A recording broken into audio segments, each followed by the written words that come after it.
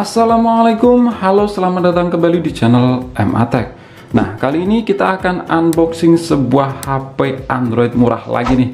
Dan punya merek itu asing pakai banget. Kali pertama juga saya dengar brand satu ini Yaitu Jibu dengan tipe R9 Nah untuk penampakan boxnya seperti ini berwarna merah. Di depan ada tulisan 4G Plus. Ini Cina Mobile ya sama juga itu nemu di Meizu terus Xiaomi juga ada yang versi Cina Mobile. Nah di sisinya ini sama aja. Kemudian bagian belakang ini ada nah, kunci spesifikasi di antaranya yaitu 2,2 GHz MTK octa-core layar 5,5 inch Full HD Retina screen terus RAM 4 GB ROM 64 GB kalau di keterangan penjualnya sih nggak seperti ini ya RAM-nya itu 3 terus ROM-nya itu 32 dan layarnya juga bukan 5,5 inch. Nanti kita lihat aja di dalamnya. Terus fingerprint 13 plus 5 megapiksel Sony kamera Android 6.0 dan lain-lain. Oke ini langsung kita buka aja daripada penasaran. Oke ini dia isi dalam boxnya. Yang pertama pastinya ada siapanya. Oh ini keambil juga SIM tray injektornya ini dengan huruf H. Unik sih. Terus di sini ada buku panduan boso nih boso Cino belas raiso moco rakutek belas terus ada kabel USB nah, untuk tipenya di sini masih micro USB bukan type C. Oke lanjut ada earphone yang kelihatan ini earphone-nya murah ya. Bentuknya seperti ini. Oke.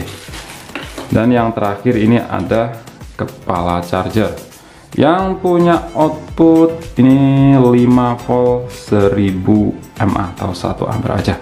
Oke itu aja isi dalam boxnya. Di sini nggak dapet silikon case dan kita lihat di HP-nya Oke kita keluarkan. Nah ini langsung kita lepas aja plastik yang menempel di layar. Oke. Nah ini ah, bekas lemnya masih ketinggalan. Ini enggak ada screen protector bawaan ya. Tadi itu cuma plastik aja. Oke ini saya bersihin dulu kemudian di bagian belakang di sini juga ada plastik yang menempel kita lepas. Wow. Dari segi desain, nah bagian belakangnya ini kelihatan cakep ya. Mengkilap seperti ini, ini berwarna biru. Hmm, kalian lihat. Kalau untuk bahannya ini berbahan dari plastik yang finishingnya itu menyerupai kaca. Ini sebenarnya plastik polikarbonat. Nah, di sini kelihatan kalau ada dua kamera tapi kalau dilihat ini yang satunya cuma hiasan aja. Kelihatan hmm, seperti bukan kamera beneran. Oke kita lihat dari sisi per sisi nah di samping kanan di sini ada slot SIM. Kita coba lihat kira-kira tipenya ini triple atau hybrid. Nah di sini bertipe hybrid ya. SIM keduanya itu bergantian dengan micro SD lanjut di sisi atas di sini ada lubang jack audio 3,5 mm di sisi kiri ada ya, tombol volume dan juga tombol power. Lanjut di sisi bawah ada lubang untuk mikrofon terus port micro USB dan juga lubang untuk speaker. Dan di bagian belakang di sini design by Shenzhen smart mobile phone assembled in China. Dan dual kamera yang di tengahnya itu ada dual eh, bukan dual ini sepertinya single LED plus saja dan sensor mindai sidik jari yang ditaruh di bawah kamera ini ini sepertinya memang kurang nyaman dijangkau. Tetap enak ditaruh di bagian tengah. Terus di bagian depan ada layar yang kayaknya ini 6 inch lebih ya. Tadi di boxnya itu 5,5 inch. Di sini ada poninya lubang untuk earpiece dan wow dual kamera. Kalian lihat ini ada dua kamera. Yang pastinya di sini ada sensor-sensor. Oke ini langsung kita nyalakan aja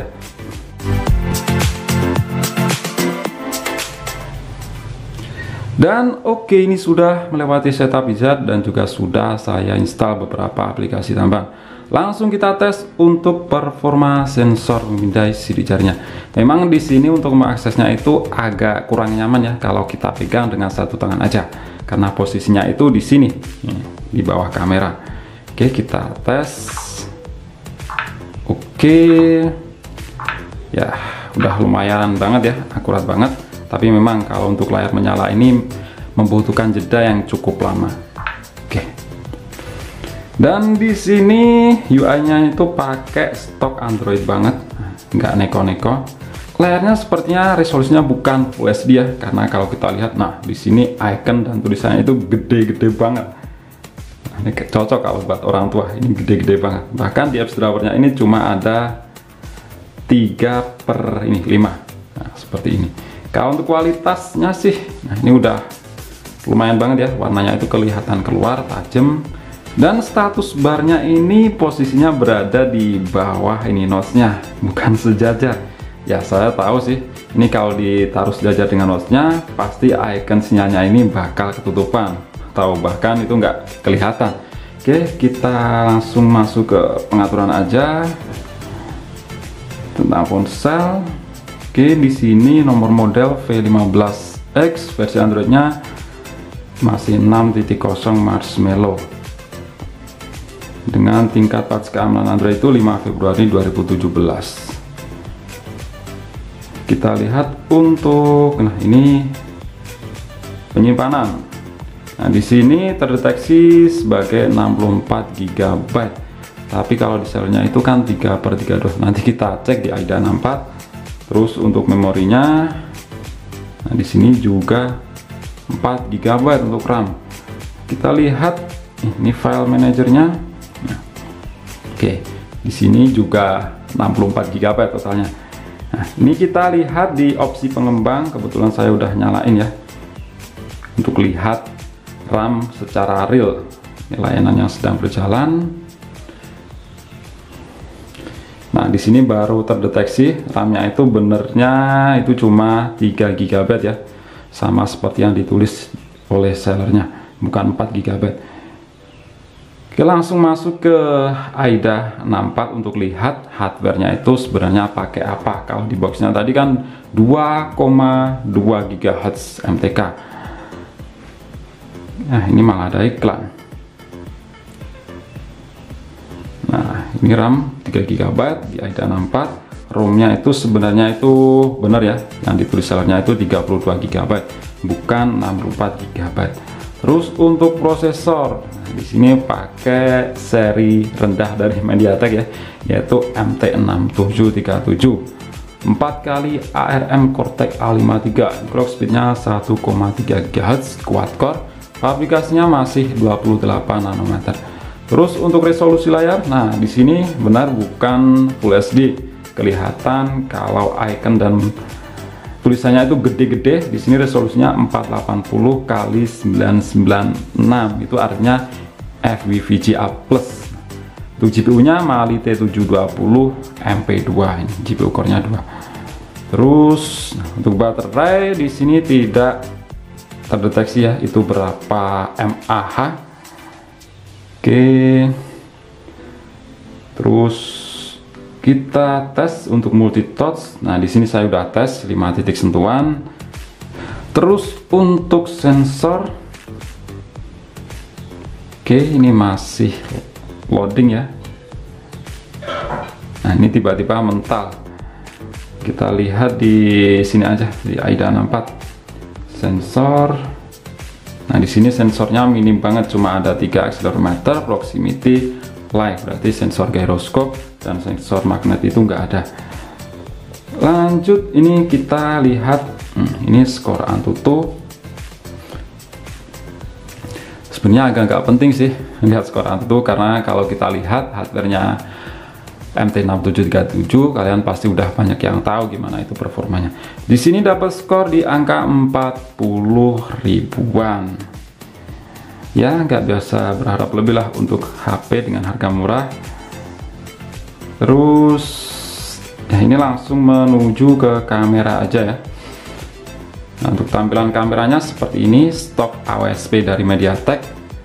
Nah di sini nggak ada menu untuk dua kamera ya. Jadi kamera satunya ini cuma gimmick aja cuma hiasan alias dekorasi. Dan depannya ini juga satu aja yang berfungsi. Oke. Untuk resolusi di sini depan 5 megapiksel. Dan di sini memang view angelnya itu kelihatan sempit ya. Kita coba jepret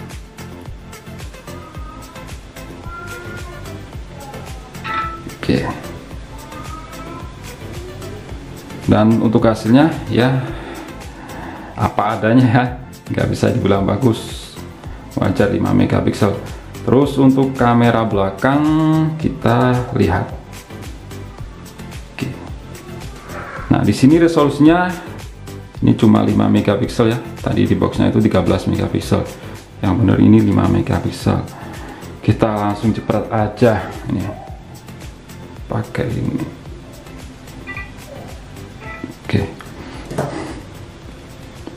Dan untuk hasilnya memang ya apa adanya. Wajar aja cuma 5 megapiksel.